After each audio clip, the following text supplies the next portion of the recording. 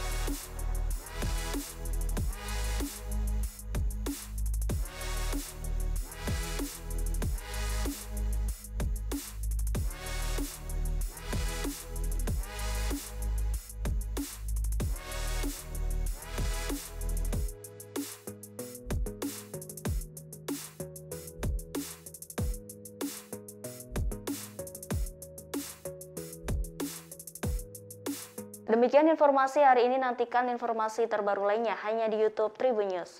Terima kasih sudah nonton, jangan lupa like, subscribe, dan share ya!